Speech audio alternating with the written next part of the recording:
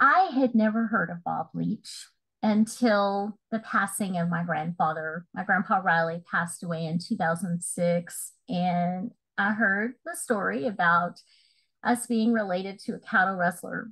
So once I read the articles online about the Grayson County jail escape in Sherman, Texas, and I talked to some, several family members, and a lot of family on this side did not really know Bob. They didn't know the story.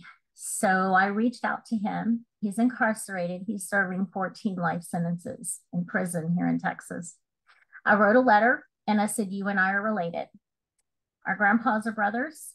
My mom and your dad are first cousins, and that makes you and I cousins. So I reached out to him and I told him who I was, what I wanted to do. I wanted to write the story. And then it was probably within just a matter of weeks he responded. He wanted to verify that I, who I say I am, which I completely understand that. And then once he added me to his visiting list and I started going in, then I started working on the story. And he and I became very close.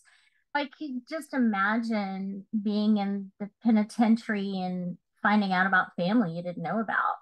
And then the family member that reaches out to you wants to tell your story and expose others. And that's all he's wanted. He's wanted others to know that he's not the only one involved. And so for him, it was probably relief because he hadn't had a chance to tell his story. And I was that chance for him. So we became very close. So he took the rap for the entire group. Mm-hmm. He sure did.